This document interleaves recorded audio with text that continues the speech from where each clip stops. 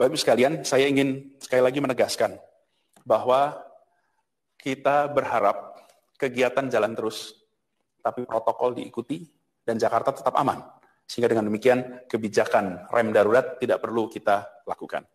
Ini adalah gambaran yang akan kita kerjakan selama satu bulan di masa status tetap PSBB sambil kita melakukan transisi menuju kondisi aman, sehat, produktif.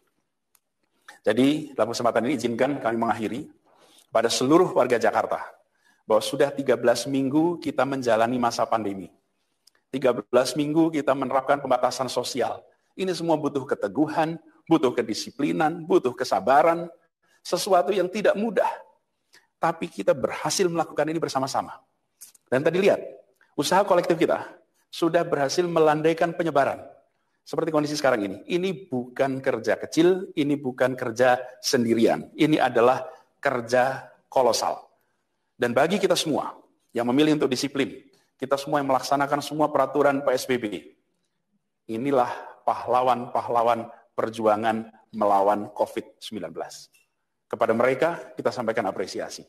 Kepada mereka kita sematkan tanda Anda pahlawan di dalam menghadapi COVID-19. Dan perjuangan ini tidak akan singkat. Ini belum selesai. Bapak Ibu sekalian, jangan anggap Jakarta sudah selesai. Belum. Ini baru transisi. Ketika kita sudah aman, sehat, produktif, saat itulah kita bisa mengatakan sudah sampai perjuangan itu. Ini masih memerlukan usaha kita lagi. Tapi apa yang sudah kita kerjakan 13 minggu ini sudah menunjukkan hasil yang boleh kita sampaikan, Alhamdulillah kita syukuri.